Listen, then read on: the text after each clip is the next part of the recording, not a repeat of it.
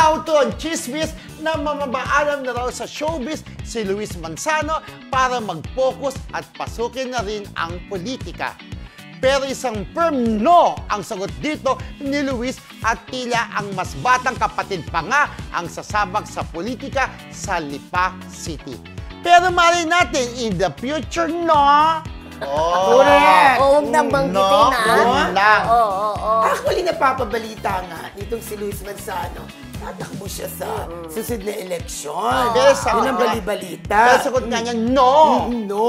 Sabi niya. Pero si, ako nakikinig-kinito ko rin na yung anak nila ni Ralph, ni Ralph, Senator Ralph Recto, tsaka ni Ate B, si, Si Christian. Ryan. Ah. Si Ryan Christian. Ryan Parang Christian. may potential din na maging politician, no? Ang gwapo niya ngayon, ang laki, ang matatas magsalta, magaling. Parang dati na Tsaka alala ano, ko. pag minsan pag lumaki ka talaga sa pamilya na Yes. yun talaga ang nature of work, talagang 80% ang possibility na susunod ka sa mga yapak, di ba, ng pamilya mo.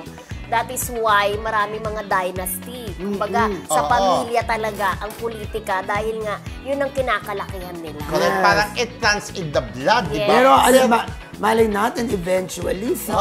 ano, Luis, di ba? Oo. Pasukin din ang ano, politics. Correct, hindi Pero rin- parang feeling ko ha, Oo. not this 2025 Oo. dahil ang dami Ang dami ng niyang shows work. niya, ang dami niyang work, tapos maliit pa si Peanut. Mm. Oo. Di ba? Parang feeling ko lang ha, pwede siyang tumakbo sa politics pero hindi itong parating na eleksyon.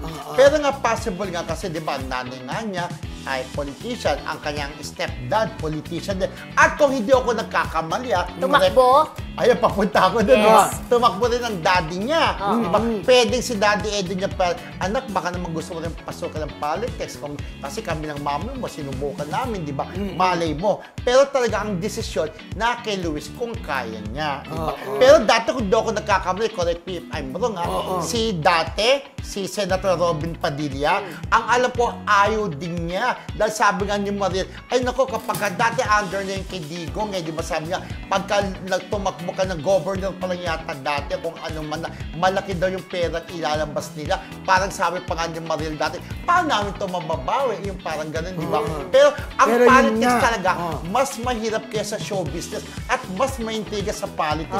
Baka makipagsuntukan-suntukan dyan si Luis Correct. Manzano. Pero kung ano naman, Alam mo kung, na kung kung kakayanin naman, kakayanin naman ni Luis Manzano yan kasi Oo naman. matalino naman siya at saka nag, nagkaroon na rin siya ng mga, di ba, nagkakawang gawa din Correct. si, Ah, and si for Pero ako, ah, sa opinion ko, ah, Oh. kung akong iti-take ni Luis ang aking advice, ah, Ah, syempre, eto, parang para sa akin, ha, huwag niyo Ah. nang pasukin ng magulong mundo, ng politics. Alam Ako- natin kung ako gaano rin. kagal, ano, di ba? Actually, Kagulo. ako, ako rin, mas gusto ko na mag-concentrate na Oo. siya sa pagiging Hosting, host. Oo. di ba? Yan ang talagang ano niya eh. Kumbaga, yan ang gamay niya. Oo. Yes. Pero hindi natin masasabi rin kung sakali man, eventually, sabi nga ni Friendship, di ba? Yes. Na maisipan pa rin niyang pasukin ng politics. Nasa eh, sa kanya nasa sa kata, oo, nasa may Ah. katawan.